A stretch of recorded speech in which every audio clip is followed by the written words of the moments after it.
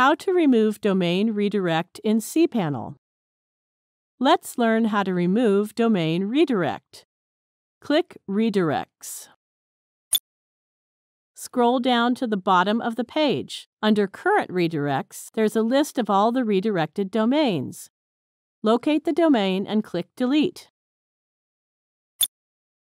Click the Remove Redirect button to confirm the removal.